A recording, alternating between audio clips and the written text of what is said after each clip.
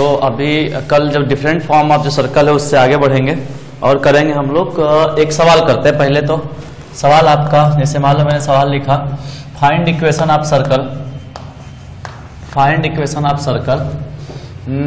touches touches तरंग आप तो दो लेक्चर छूटा है शायद हाँ, दो लेक्चर छूटा है फिर नॉर्मल इक्वेशन बनाना आता है ठीक है चलो find equation of circle touches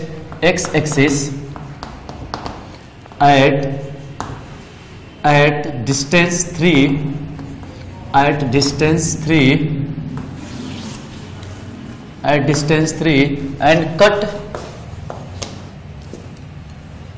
and cut the cut y axis and cut the length of and cut the length of intercept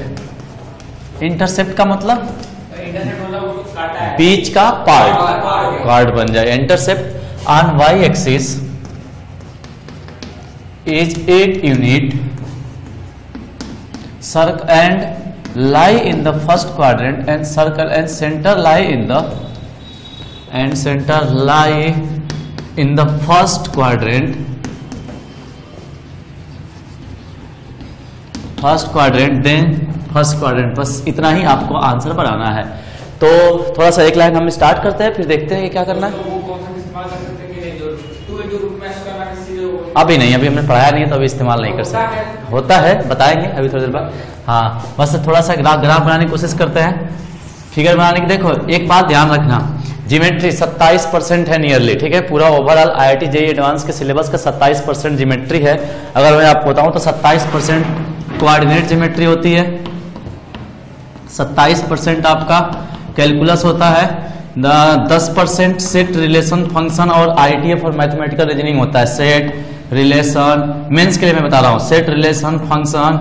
और आईटीएफ और आपका मैथमेटिकल रीजनिंग ये सब मिला के दस परसेंट होता है ठीक है छः परसेंट टिग्नोमेट्री होती है ठीक है ना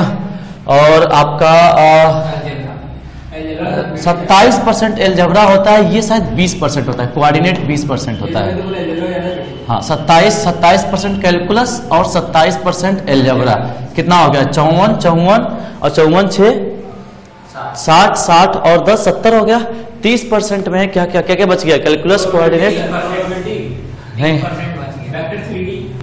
क्या क्या कितना बच गया सत्ताईस तेईस चौवन और छ और तीस नब्बे दस परसेंट आ? हाँ? दस परसेंट में क्या रह गया क्या रह गया कैलकुलेशन हाँ वेक्टर थ्री बिल्कुल करेक्ट है वेक्टर थ्री वेक्टर थ्री इधर भी बिल्कुल यही है जे मेंस का यही पैटर्न है सत्ताईस परसेंट कैलकुलस है सत्ताईस परसेंट आपका एलजबरा है बीस परसेंट कोआर्डिनेट है छह परसेंट इग्नोमेट्री है दस percent set relation function ITF है और दस परसेंट वेक्टर थ्री है वेक्टर थ्री दस परसेंट का मतलब मोर ओवर कितना तीन सवाल के आसपास हो जाएंगे मोर हाँ। ओवर लगभग तीन परसेंट क्या सर्कल स्ट्रेट नहीं उसमें सर्कल का एक सवाल होगा पैराबोला स्ट्रेट लाइन वगैरह का हो सकता है कि एक से दो दो सवाल अधिकतम मतलब स्ट्रेट लाइन से नहीं पूछा बहुत यार कभी पूछ लिया तो कोई सर्कम सेंटर इन सेंटर सब में मिक्स करके पूछेगा देखो क्या है ना कि पहले तो फिक्स था कि जब 30 सवाल आता था तो 30 सवाल के टाइम पे 6 सवाल फिक्स था उसका देखो 30 का 20 परसेंट कितना हो जाएगा 6 सवाल छह सवाल उसका फिक्स था जब से 25 परसेंट हुआ और जब से चार पांच छह पेपर बनने लगे हैं तब से बड़ा रैंडम सिलेक्शन करने लगे हैं इन लोगों का डिस्ट्रीब्यूशन उतना अच्छा नहीं रह गया है अभी कई किसी पेपर में किसी पेपर में तीन चार आपका मेंस में किसी पेपर में तीन चार कोऑर्डिनेट से पूछते हैं किसी में आठ नौ पूछ लेते हैं किसी में दस दस तक पूछ लेते हैं किसी में प्रोबेबिलिटी से ज्यादा बढ़ा देते हैं जैसे ट्रिग्नोमेट्री से एक आध सवाल आता है बड़े मुश्किल से हाँ मतलब ऐसा नहीं ऐसा होगा कि आराम से हो जाएगा वो ऐसा होगा कि आराम से हो जाएगा ये टिग्नोमेट्री एसओटी सब मिला के एसओटी तो ऐसे है नहीं मेंस में तो सब मिला के है तो कोऑर्डिनेट का 20 परसेंट है और पढ़ना लगभग जैसे कैलकुलस और एलजबरा एलजबरा सबसे कम टाइम लगता है पढ़ने में कैलकुलस सबसे ज्यादा टाइम लगता है पढ़ने में उसके बाद सेकेंड नंबर पर टाइम लगने वाला चीज है आपका ये बीस परसेंट वाला कोऑर्डिनेट सबसे ज्यादा कैलकुलस फिर कोऑर्डिनेट और सबसे कम टाइम लेता है एल्जेब्रा और एल्जेब्रा से 27 परसेंट है पूरा ये और बाकी ये सब चीज तो ये और ये ये मतलब ऐसे समझो कि 27 में ये 27 और 10 मिला के सैंतीस परसेंट अगर हम बात करें तो सैंतीस परसेंट हम पढ़ते हैं ट्वेल्थ का लगभग पूरा सिलेबस ट्वेल्थ का ही होता है ना बाकी एक हाँ दस परसेंट हाँ देखो ट्वेल्थ थ्री डी भी दस परसेंट और इनमें से एलजेवरा में से प्रोबेबिलिटी और मैट्रिक्स डिटर्मिनेंट हाँ। तो इसमें से भी आप पांच परसेंट आठ परसेंट निकाल लो तो सैंतीस और दस सैतालीस और सैतालीस और कितना होगा नियरली यही रहता है ये साठ और चालीस का साठ और चालीस का तो इसमें आपका जो सर्कल है सर्कल और पैराबोला हाइपरबोला इन सबसे थोड़ा ज्यादा सवाल आता है स्ट्रेट लाइन से बहुत कम आता है और जब पूरी कोऑर्डिनेट में जो 20 परसेंट पोर्सन है उसको सॉल्व करने के लिए अगर आपको जिमेट्री बनाना मतलब आप उसका जिमेट्री बना ले रहे हो अब बेसिकली अगर सवाल सर्कल का है तो जिमेट्री बना तो सवाल बन जाएगा और एलिप्स हुआ चाहे बोला हुआ चाहे बोला एक बार जरूर पहले फिगर बनाना चाहिए तभी सवाल को ट्राई करना चाहिए डायरेक्ट अगर आप सोच रहे हो कि किसी तरीके से ट्राई करें तो डेफिनेटली गलती होने के चांस ज्यादा है जैसे इस सवाल में बोल रहा है कि हमेशा सर्कल का इक्वेशन चाहिए जो एक्स एक्सिस को कहाँ पे टच करता हो तीन यूनिट पे लेकिन साथ साथ वाई एक्सिस को कुछ कट भी कर रहा है क्या yes. वाई एक्सिस को देखो तो ऐसा कुछ हमने कहा कि ऐसा कुछ हो रहा है ये यहाँ पे तीन यूनिट पे टच कर रहा है थ्री कामा जीरो पे कह रहा है कि सेंटर फर्स्ट क्वाड्रेंट में है तो मजबूरी है क्या कि ये सिर्फ यही एक सर्कल बनेगा अगर ये बात ये वाला रिस्ट्रिक्शन नहीं डाला होता कि सेंटर फर्स्ट क्वाड्रेंट में है तो सर्कल नीचे भी हो सकता था इधर भी हो सकता था इधर भी हो सकता चार सर्कल बनने के चांसेस थे कि भाई ऐसे भी सर्कल हो सकता था कि ऐसे भी आपका ये आपका ये भी सर्कल बन जाए यहाँ पे माइनस थ्री डिस्टेंस का मतलब चाहे इधर हो चाहे इधर हो ऐसे ही आपका इधर भी बन सकता था कि ऐसे आके ऐसे आके ऐसे भी सर्कल बन सकता था या एक ऐसे भी सर्कल बन सकता था बोलो बात समझ में आ रही कि नहीं लेकिन इसने मना कर दिया है कि भाई हमको तो सिर्फ हमको तो सिर्फ फर्स्ट क्वाड्रेंट के सर्कल से पता मतलब है तो ये बाकी चीजों को मैं छोड़ देता हूं अदरवाइज ही आपका सवाल मोर देन वन चॉइस में होगा तो ये बोलेगा ही नहीं कि फर्स्ट क्वाड्रेंट में सेंटर लाई कर रहा है वो छोड़ देगा कि आपका अपना दिमाग जितना मर्जी उतना यूज करें तो तीन पे इसका तीन पे टच कर रहा है तो बोलो इसका जो सेंटर होगा वो यहां से कितना यूनिट आगे गया है थ्री यूनिट गया क्या मैंने मान लिया कि इसका सेंटर थ्री का मक के है रेडियस कितना है इसका ना के ये लंबाई की रेडियस है ना रेडियस ये लंबाई है अरे बात समझ में अच्छा ये लंबाई क्या है के है क्या ये बे अच्छा ये यहां से यहां तक लंबाई कितना आठ तो यहां से मैं मिड पॉइंट डालूंगा तो ये कितना ये लंबाई कितना ये तीन हो गया ये चार हो गया तो ये कितना हो गया पांच रेडियस मिल गया सेंटर मिल गया आपका फटाफट सेंटर मिल गया थ्री कामा फाइव और रेडियस आर मिल गया कितना फाइव तो ये आपका इक्वेशन हो गया आपका सेंट्रल फॉर्म इक्वेशन आप सेंट्रल फॉर्म में बता चुका हूं ना एक्स माइनस थ्री का square plus Y minus five का स्क्वायर इक्वल टू पच्चीस ठीक है तो जल्दी फटाफट बना लो हाँ बस ये बेट्री से ही सवाल बन जाएगा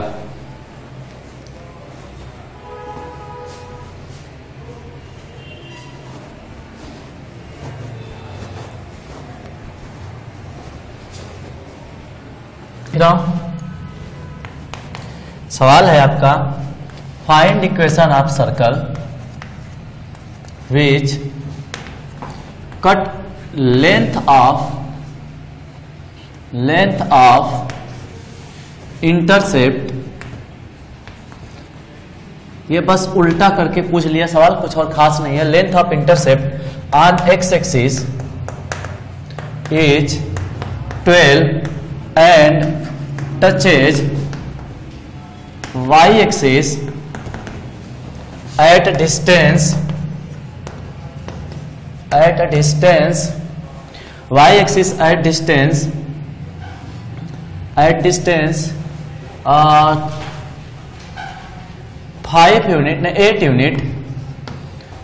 8 unit and center lie and center lie in second quadrant जरा बनाओ आप आंसर मैं तब तक एक और सवाल लिख देता हूं इधर में एक और इधर सवाल लिख देता हूं सवाल है फाइंड रेशियो आप मुझे उम्मीद है तब तक आप उधर बना लोगे find ratio of in radius and circumradius Circumradius of circle made inside and outside in the quadrilateral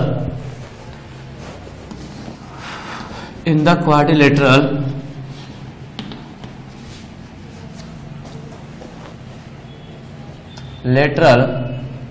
X बराबर टू एक्स बराबर सिक्स वाई बराबर टू वाई बराबर सिक्स बहुत ही सिंपल सवाल क्या ये आ गया इसका आंसर बन गया हाँ हाँ फिर से एक्स प्लस बिल्कुल सही है बिल्कुल सही है इस बार ये वाई एक्सिस को टच करता है कुछ डिस्टेंस और एक्स एक्सिस पे कट करता है वाई एक्सिस को टच करता है और एक्स एक्सिस को कट करता है वाई एक्सिस को टच करता है आपका कितने डिस्टेंस पे आठ यूनिट के डिस्टेंस पे और आपसे कह रहा है कि एक्स एक्सिस को कितनी लंबाई में कट कर रहा है बारह में कट कर रहा है बोला है सेकंड क्वाड्रेंट में है इसलिए मैं इधर लूंगा इसका सेंटर यहां से यहां चला है ये वाली लंबाई अगर मैं कहूं कि अच्छा सेंटर क्या हो जाएगा ये यहां पहुंचने के लिए इतनी चला होगा और इतना आठ चला है तो इतना ही कि कौन सा ये एक्स कोऑर्डिनेट है कि वाई कोऑर्डिनेट है ये वाई कोऑर्डिनेट है एक्स कोऑर्डिनेट एच हो जाएगा क्या इनफेक्ट माइनस एच हो जाएगा अरे आ बात समझ में अच्छा ये वाली लंबाई आपका फिर से एट हो जाएगा ये क्या ये क्या हो जाएगा तो बारह पे छह होगा ना ये यहाँ से यहाँ तक कितना हो जाएगा छह और ये लंबाई आठ हाँ, हाँ। तो ये क्या हो जाएगा टेन अच्छा ये वाली आपका कौन ये लंबाई बोला है कि एट यूनिट पे टच कर रहा है अच्छा ये वाली लंबाई आपका ये वाली लंबाई हमने एच ले रखा है ये तो ले रखा है इधर से इधर आने में तो ये रेडियस भी क्या हो जाएगा एच और एच बराबर कितना आ गया यहाँ पे टेन तो आपका सेंटर वही हो गया आपका सेंटर हो गया आपका माइनस टेन तो का मा एट और radius R equal to ten तो एक्स प्लस टेन का whole square plus y minus eight का whole square equal to ten का स्क्वायर बिल्कुल सही है इस सवाल पे जरा बात करते हैं बल बिल्कुल ठीक उल्टा है बिल्कुल सिमिलर ठीक उल्टा है ये भी सवाल बस सिमेट्री ही है इस सवाल में और कुछ खास है नहीं हाँ देख लो कि थोड़ा सा बस मैं आपको हिंट दे देता हूँ तो समझ में आ जाएगा एक्स एक्सिस वाई एक्सिस ठीक है कह रहा है कि एक एक्स इक्वल टू टू है लाइन एक एक्स इक्वल टू सिक्स है लाइन क्या ऐसे ही बनेगी x equal to two x equal to six क्या वाई इक्वल टू टू ऐसे लाइन बनेगी क्या y इक्वल टू टू ऐसे लाइन बनेगी और y इक्वल टू सिक्स ऐसे लाइन बनेगी क्या इससे एक क्वारिलेटरल तैयार हुआ ये कौन सा क्वारिलेटरल है रेक्टेंगल है स्क्वायर नहीं है रेक्टेंगल है मे भी स्क्वायर हो सकता है पर है तो अभी रेक्टेंगल अच्छा इसके कह रहा है कि एक अंदर सर्कल बन रहा है तो उसको इन रेडियस नाम दे रहा है क्या नाम दे रहा है इन रेडियस ठीक है और एक बाहर बाहर सर्कल बन रहा है उसको क्या नाम दे रहा है ये सरकम रेडियस आ रही बात समझ में तो कह रहा है कि इन दोनों के आपका रेडियस का वो बताना है कि ये क्या चीज आएगा क्या इसकी लंबाई ये रेक्टेंगल है कि ये रेक्टेंगल कर ले पहले तो रेक्टेंगल है कि ये आपका स्क्वायर है यहां से आके स्क्वायर है स्क्वायर तभी तो ये इन रेडियस बराबर होगा नहीं तो हाँ नहीं तो अदरवाइज ये बराबर होगा ही नहीं यहाँ पे टच ही नहीं करेगा ऐसे ठीक है तो फटाफट बना लो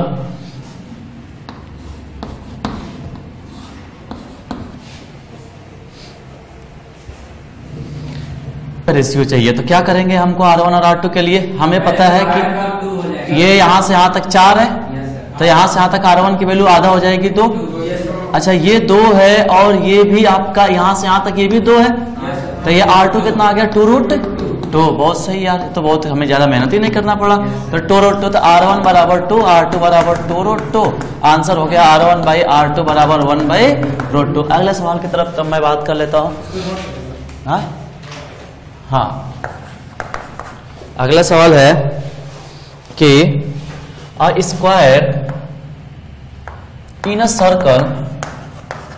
in a circle circle है आपका x square plus y square minus six x minus eight y equal to zero a square a square is drawn a square is drawn such that such that sides are sides are parallel to axis then find coordinate of then find coordinate of uh, coordinate of vertex of square इसके लिए मैं आपको time दूंगा बनाने के लिए पूरा का पूरा then find coordinate of vertex of square इसके लिए पूरा मैं टाइम दूंगा बनाने के लिए क्या बना है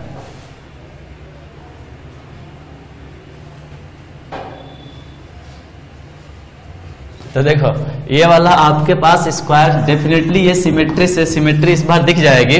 इस बार है इसका सेंटर है आपका थ्री कामा फोर और रेडियस कितनी है पांच और ये सेंटर कहां से पास सर्कल पास कर रहा है कहां से ओरिजिन से ठीक है तो ये ओरिजिन से पास करा तो डेफिनेटली आपने अगर इसके पैरेलल बनाया होगा तो एक ऐसे लिया होगा और एक ऐसे लिया होगा ऐसे आ गया होगा इस बार सिमेट्रिकली बिल्कुल दिख गया होगा कि ये यहाँ से ऐसे गया होगा अच्छा जो ये वाला होगा ये कुछ ऐसे हो जाएगा सेंटर से ये जाएगा ये अच्छा अच्छा ये आपका स्क्वायर है तो अगर ये लंबाई एक से ये लंबाई एक से टेन है अरे यार बात समझ में क्या तो ये आपका x square plus x square equal to ten square हो गया यानी एक्स स्क्वायर इक्वल टू पचास हो गया यानी एक्स बराबर कितना हो गया टू रूट फाइव नहीं फाइव रूट टू उठता नहीं फाइव रूट टू तो ये हो गया आपका फाइव रूट टू यहाँ हो गया आपका five root two comma five root two comma zero ये हो गया आपका five root two comma five root two five root two comma five root two और ये हो गया आपका zero comma five root two but अगर यही सवाल आपका क्या कर दे वहां पे नाइन कर दे अगर मैं इसको हटाता हूं अगर मान लो कि ये आपका यहाँ पे हमने नाइन कर दिया तो क्या क्या चक्कर हो जाएगा plus nine equal to zero तो उस केस में इसका सेंटर अभी भी सर्कल का सेंटर जो है ना सेंटर अभी भी आपका थ्री कामा फोर है लेकिन radius R equal to under root में तीन का स्क्वायर प्लस चार का स्क्वायर माइनस नौ ये कट गया आंसर आ गया चार रेडियस चार हो गया अब ये ओरिजिन से पास नहीं कर रहा है तो सर्कल हम ले लेंगे कि कुछ ये यहाँ का ही सर्कल होगा और इसका ये आपका थ्री कामा फोर ये सेंटर हो गया रेडियस चार हो गया यहाँ से ये ये ऐसे एक स्क्वायर हमने बना लिया बना लिया स्क्वायर ये वाला डायगोनल डेफिनेटली ये डायगोनल होगा आ रही बात समझ में अच्छा इसका रेडियस की लंबाई कितनी है चार है अरे बात समझ में रेडियस की लंबाई चार है अच्छा ये वाला एंगल कितना होगा क्योंकि ये जितनी लंबाई जितनी ये लंबाई होगी उतनी ये लंबाई होगी क्योंकि स्क्वायर है तो ये वाला एंगल कितना होगा पैतालीस होगा या नहीं होगा अब जरा सोचो ये थ्री का फोर से चार यूनिट ऊपर चार यूनिट नीचे अपने को जाना है कौन सा फॉर्म याद करो कुछ ऐसा बताया था क्या मैंने कभी हाँ पैरामेट्रिक फॉर्म आ रही बात समझ में यहां का कोऑर्डिनेट लिखने के लिए x one plus minus R cos पैतालीस degree comma y one plus minus R sine पैतालीस डिग्री ये तो दोनों यहां का और यहां का देगा अच्छा इधर वाला लिखना होगा तो ये angle overall total excess angle कितना बन गया 135 तो इधर और इधर का कोऑर्डिनेट आएगा यहां से यह अभी भी एक्स वन का वाई वन यही है तो x one plus minus R सौ 135 डिग्री और y one plus minus R sine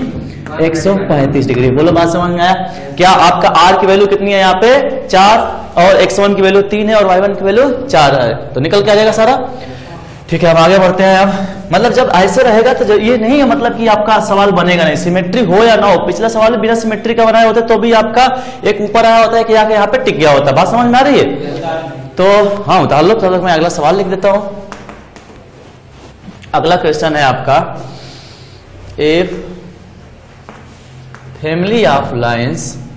family of lines किसी को याद है कैसे लिखी जाती थी फैमिली ऑफ लाइन्स लिखने का क्या तरीका था फैमिली ऑफ लाइन्स रिप्रेजेंट करने का तरीका किसी को याद है L one plus lambda L two equal to zero ठीक है तो फैमिली ऑफ लाइन्स उनका पॉइंट ऑफ इंटरसेक्शन कैसे निकालते थे फैमिली ऑफ का पॉइंट ऑफ इंटरसेक्शन कैसे निकालते थे L1 one plus lambda L two equal to zero है तो पॉइंट ऑफ इंटरसेक्शन कैसे पता करते थे कि दोनों जहां पे कट करेंगे अरे इसको जीरो कर दो इसको जीरो कर दोनों का सॉल्व कर दो ना दोनों नहीं अभी भी नहीं जैसे मान लो हमने लिखा कि x plus two plus lambda time x plus y minus three equal to zero ये फैमिली ऑफ लाइंस रिप्रेजेंट कर रही है always passes through a fix point और फिक्स पॉइंट कैसे निकालते थे इन दोनों को सॉल्व कर देते थे हाँ अच्छा ये बोल रहे थे तो ये चीज तो इसे सॉल्व करके निकालते थे तो यहां भी ये बोल रहा है कि family of lines family of lines represented by family of lines चलो यही ले लेता हूं x plus two plus lambda वो x plus y minus three equal to zero and and y plus two plus mu time x minus y या x minus two y plus three equal to zero intersect intersect orthogonally orthogonally और orthogonally का मतलब होता है 90 degree intersect at 90 degree intersect at 90 degree orthogonally then find then find locus of point of intersection of these of this point इस point का हम चारों कहा तो है देखो तो तो ये तो हाँ देखो ये आपका एक ये ऐसे लाइन्स है ये अगर पहले वाले फैमिली आप लाइन से कहा से पास कर रही है पहली वाली लाइन्स बस थोड़ा सा मैं फिगर आपको समझा दे रहा हूँ lambda time x plus y minus three equal to zero ये पास करेगी x plus two equal to zero यानी x equal to minus two और यहाँ पे x plus y minus three equal to zero minus two डाला तो y equal to five ये two comma five से पास करेंगे क्या लाइन्स जितनी फैमिली ऑफ लाइन्स होगी वो सब यहाँ से पास करेंगे और एक दूसरी वाली लाइन्स आपका y equal to y plus two और plus mu time x minus two y plus three equal to zero यानी आपसे y plus two equal to zero यानी y equal to minus two और x minus y minus plus three equal to plus three है ना यहाँ पे तो ये हो जाएगा x plus x plus four plus three equal to zero x की वैल्यू माइनस सेवन तो ये minus seven comma minus two ये हो गया यहां से जितनी फैमिली ऑफ लाइंस है तो ये इन फैमिली ऑफ लाइंस में से हमें उनका लोकस निकालना है जो कितने डिग्री पे कट कर रही हैं हमें उनका लोकस बताना है जो कितने पे कट कर रही है नाइनटी डिग्री पे कह रहा है ना ऑर्थोगोनली बस बस बस बस यहाँ से ये नहीं मतलब ये क्या बनाएंगी ये डायमेट्रिक फॉर्म जैसे ही यहाँ पे जब 90 डिग्री बनता है तो किस फॉर्म का हो जाता है डायमेट्रिक फॉर्म का तो मतलब ये क्या हो जाएगा एंड पॉइंट ऑफ डायमीटर हाँ ऑर्थोगोनली बोला जाएगा परपेंडिकुलर नहीं ऑर्थोगोनली बोला जाएगा तो ये डायमेट्रिक फॉर्म हो जाएगा डायमेट्रिक फॉर्म ठीक है इधर वाला नोट हो गया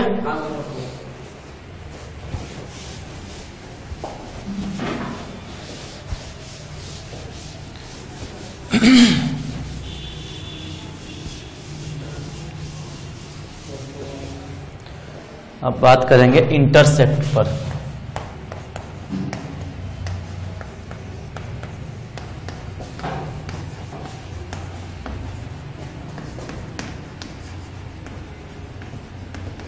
intercept made by circle on axes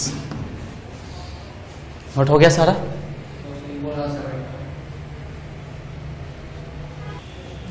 तो intercept made by circle on axes किसी भी सर्कल के थ्रू उससे पहले एक चीज देखते हैं कि मान लो कि एक अपने पास एक सर्कल है और ये एक लाइन है ठीक है मैंने कहा ये एक लाइन है अभी आगे भी चल के इस पर बात करेंगे थोड़ा सा मैं यहाँ पे बस आपको हिंट दे रहा हूं यहां पे इसका सेंटर है इसकी ये रेडियस है ठीक है इसकी रेडियस मैंने कहा ए है आर है और यहां सेंटर से इस पे परपेंडिकुलर डिस्टेंस जो डाला गया ये मैंने कहा कि लंबाई पी है कहां से कहां तक यहां से लेके यहां तक लंबाई पी है और ये रेडियस आपकी आर है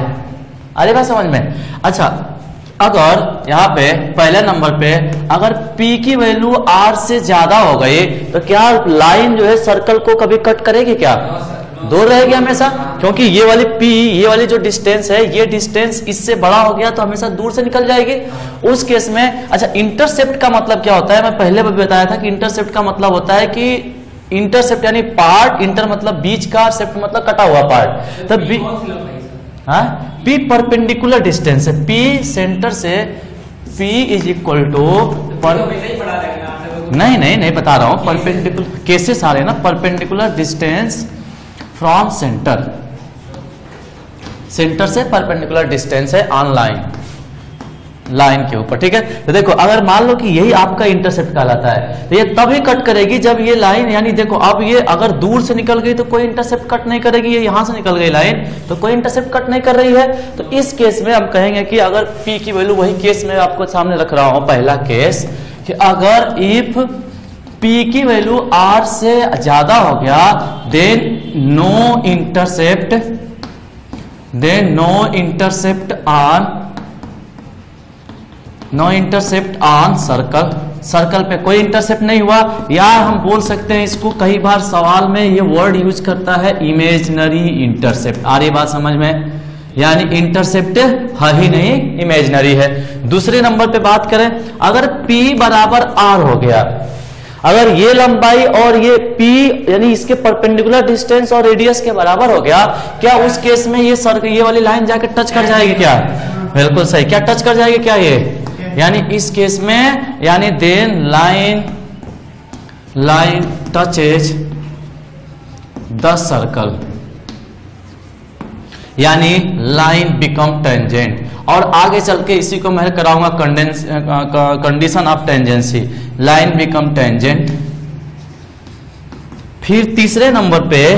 अब अगर p की वैल्यू r से छोटा हो गया तो ये ऐसे यहां पहुंच गया देखो ये वाली लंबाई p हो जाएगी तो ये r छोटा हो गया इस केस में line cut the cut circle at two point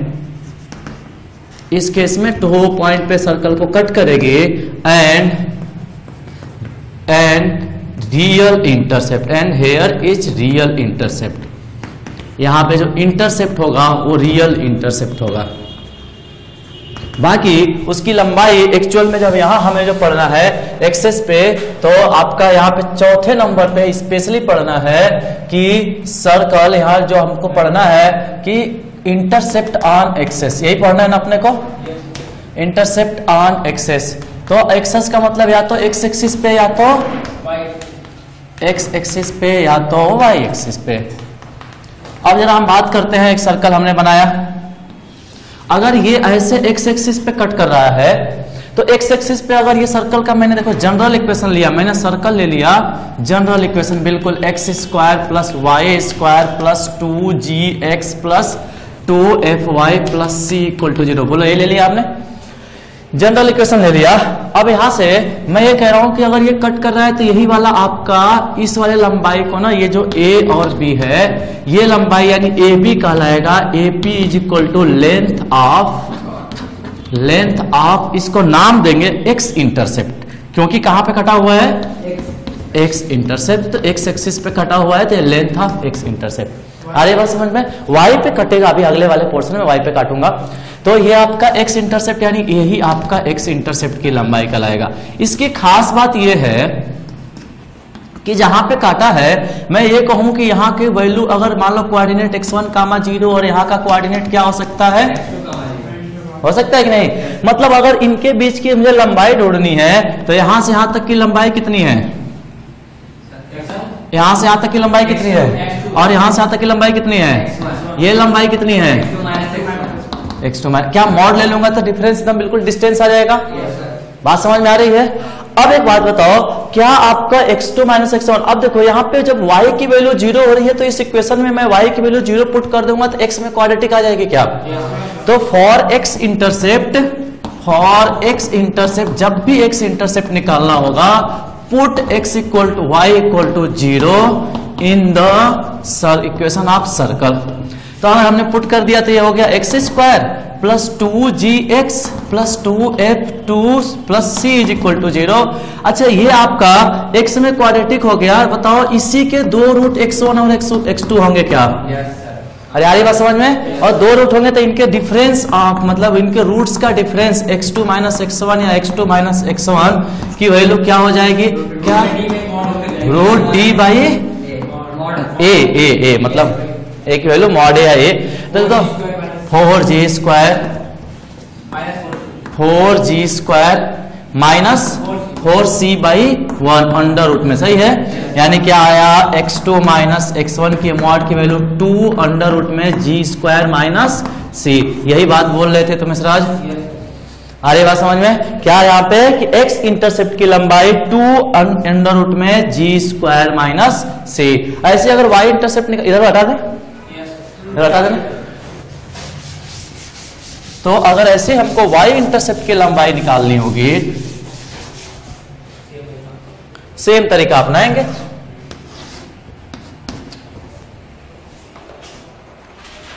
same तरीका अपनाएंगे कि ये आपने कोई सर्कल कट किया ये वाले जगह ये वाला जगह y one zero comma y हो जाएगा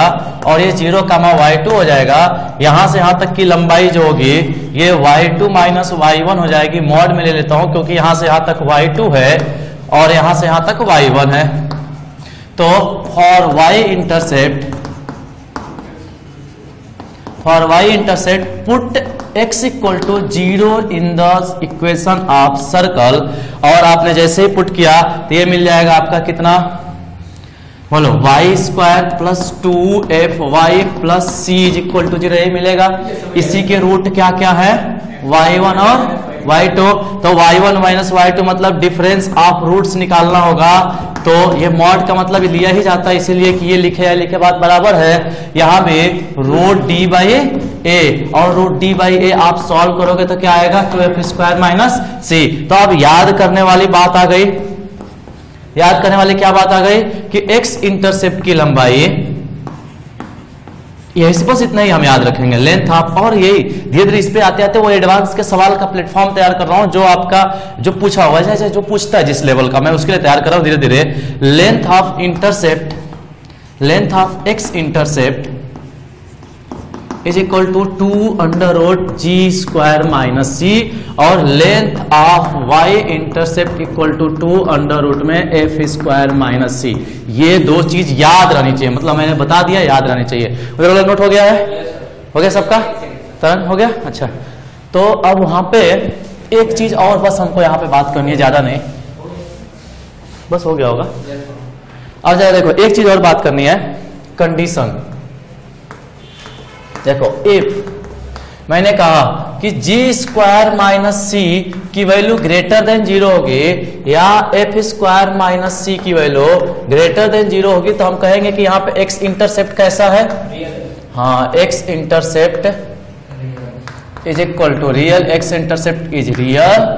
और यहाँ पे कहेंगे क्या y इंटरसेप्ट इज रियल बोलो बात समझ में आ रही है या पहला हो गया दूसरा अगर इनमें से ये अगर ये जीरो हो गया या एफ स्क्वायर माइनस सी ये जीरो हो गया तो हम कहेंगे कि सर्कल किसको टच करने लगेगा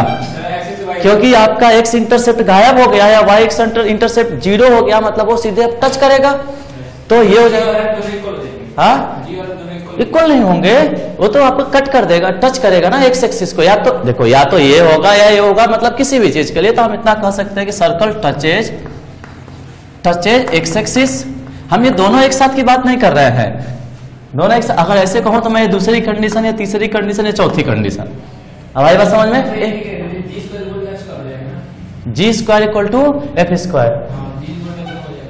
अब वो तब होगा जब वो दोनों के दोनों दोनों के दोनों एक साथ जीरो हो रहे होंगे सिर्फ यही जीरो हो रहा होगा तो नहीं होगा ना ये ठीक है हो सकता है कि ये हो रहा हो और ये ना हो रहा हो जैसे कि पिछले एक सवाल मैंने दिया था कि तीन पे टच कर रहा हो और वाई को कट कर रहा था अरे बात समझ में था तो इसलिए चार मैंने ले लिया तो और ये सर्कल टचेज वाई एक्सिस ऐसे देखो कहने का ये मतलब है कहने का ये मतलब है इसमें कंफ्यूज होने वाली बात नहीं है कि अगर देखो तीसरा वाला है तो ये वाली बात हो जाएगी yes. ऐसा सिर्फ इतना बात हो जाइए ठीक है और इसमें ये देखो वाई इंटरसेप्ट है ही नहीं इमेजिनरी है या ऐसे हो सकता है कि ये ऐसे आए और ऐसे चला जाए मतलब x y x intercept zero है और वाई इंटरसेप्ट है रियल है अरे बात समझ में यानी एक्स एक्सिस टेंजेंट है जबकि वाई इंटरसेप्ट में मिल रहा है तो कुछ भी कंडीशन बन सकता है सिर्फ इसके ऊपर सवाल में ऐसा बोलता है कि एक्स इंटरसेप्ट नहीं है या एक्स एक्सिस को टच करता है तो हम ये निकालेंगे कि जी स्क्वायर बराबर सी हो गया फिर चौथे के बाद पांचवें नंबर पे अगर g square minus c less than zero हो गया तो अवे फ्रॉम एक्स एक्सिस सही है ना अवे अब एक्स एक्सिस से दूर निकल जाएगा कट ही नहीं करेगा ना तो कट करेगा ना तो टच करेगा और छठे f square minus c less than zero तो अवे फ्रॉम वाई एक्सिस ठीक है ठीक है find equation of circle passes through origin passes through origin and cut equal intercept equal intercept on x axis equal intercept equal intercept of one unit यही छूटा था ना one unit or line y बराबर x square तो इस बार ये line दिया है मतलब ये y स्क्वायर बराबर एक्स स्क्वायर ये लाइन दिया है मतलब ये पेयर ऑफ स्ट्रेट लाइन हो जाएगा पीओएसटी हो जाएगी और पीओएसटी हो जाएगी तो आपका ये वाई स्क्वायर बराबर एक्स स्क्वायर को हमने सबने लिखा होगा कि ये y बराबर प्लस माइनस एक्स है मतलब y बराबर एक या तो प्लस एक्स है या y बराबर माइनस एक्स है अब यहाँ से जो सर्कल पहले बनेगा वो अपन देख लेते हैं ये y बराबर एक्स होगा और ये वाई बराबर माइनस एक्स होगा और यहाँ पे एक यूनिट का कोई सर्कल है जो ओरिजिन से पास कर रहा है और एक यूनिट का दोनों पे इंटरसेप्ट काट कर रहा है देखिए ये सर्कल बनेगा एक ये सर्कल बनेगा और एक ऐसे ही एक इधर से एक सर्कल बनेगा और एक ऐसे ही इधर सर्कल बनेगा कुल कितने सर्कल बन गए चार इनमें से मैंने एक सर्कल हटा लिया एक सर्कल का खींच लेंगे बाकी चारों का उसी के सिमेट्रिकली हम बात कर लेंगे कि एक ये वाई बराबर एक्स है ये वाई बराबर माइनस एक्स है और एक सर्कल ऐसा है जो इन दोनों पे वन यूनिट का क्या कट कर रहा है इंटरसेप्ट कट कर रहा है ये वाली लंबाई एक है और ये वाली लंबाई एक है ये वाला एंगल कितना है अच्छा इन दोनों को मैंने ज्वाइन किया थोड़ी देर के लिए ज्वाइन किया अब हमें पता नहीं है कि ये क्या है लेकिन ये वाला एंगल क्या है पैंतालीस ये वाला एंगल कितना है पूरा एंगल कितना हो गया नब्बे और अगर सरकम पे कोई भी एक कॉर्ड क्या यही वाली कॉर्ड सरकम पे 90 डिग्री का एंगल सबटेंड कर रही है क्या तो कोई भी सरकम कोई भी कॉर्ड अगर सरकम पे 90 डिग्री का एंगल सबटेंड करेगी तो क्या हो गया डायमीटर हो गया मतलब ये क्या हो गया आपका डायमीटर और सिमेट्री से ये बिल्कुल पैरेलल टू वाई एक्सिस होगा अच्छा अब जरा बताओ ये वाला ये वाला लंबाई वन है तो ये वाली लंबाई को मैं क्या वन कॉस थीटा लिख सकता हूँ क्या वन कॉस पैंतालीस लिख सकता हूँ क्या और ये वन साइन पैंतालीस हो जाएगा क्या यानी यहाँ का कोऑर्डिनेट पहुंचने के लिए यहां से यहां पहुंचा होगा यहां से यहां चला होगा यानी ये one by root two comma one by root two अत ये कितना हो जाएगा one one by root two का minus one by root two क्या सेंटर क्या आपका one by root two comma zero x axis पे लाई करेगा ये वाली distance one by root two है क्या रेडियस कितना हो गया इसका वन बाई रूट टू और सेंटर कितना हो गया वन बाय रूट टू का मा जीरो ऐसे ही इस वाले का भी निकल जाएगा इस वाले का इधर से होगा आई बात समझ में तरंग आया कि नहीं वैसे तो ही इधर का भी हो जाएगा ऐसे ही इधर का चारों का निकल जाएगा अच्छा ये दो सवाल है ये आसान है आप, आप मुझे लगता है आप ये कर डालोगे क्या एक्स इंटरसेप्ट वाई इंटरसेप्ट की लंबाई निकालने के लिए कह रहा है बस एक्स इंटरसेप्ट मैं फटाफट निकाल देता हूँ एक्स इंटरसेप्ट बराबर two under root g square minus c two मतलब आपका टू तो टू ही रहा जी का वैल्यू कितना है जी इक्वल टू टू है और एफ इक्वल टू नहीं g equal to minus two है और f equal to minus three है यही है ना अरे बात समझ में कि नहीं और c equal to minus five है तो ये हो जाएगा टू यानी four minus minus plus five कितना हो गया नाइन का आधा तीन तो टू रूट थ्री कितना हो गया सिक्स और वाई इंटरसेप्ट निकल के आ गया सवाल जरूर नोट कर लेना टू अंडर रूट में f square minus c two under root f का मतलब ये हो गया nine minus minus plus five two root fourteen यहाँ पे क्या बोला है ये दिखाना है कि ये एक्स एक्सिस को और वाई एक्सिस को टच कर रहा है ये दिखाना है yes. अगर टच करना है तो क्या आना चाहिए एक्स इंटरसेप्ट की लंबाई कितनी होनी चाहिए एक्स इंटरसेप्ट बराबर जीरो और वाई एक्सिस को भी टच करेगा तो वाई इंटरसेप्ट की वैल्यू भी कितनी होनी चाहिए यानी two under root g square minus c की वैल्यू जीरो होनी चाहिए और two under root f square minus c की वैल्यू जीरो आप निकाल लो हो गए आ रही बात समझ में तो ये आपका प्रूफ हो गया सही है तो बस आज के लिए इतना ही बाकी अपन लोग कल नहीं परसों नेक्स्ट डे अपन क्लास है ठीक है कल मेरी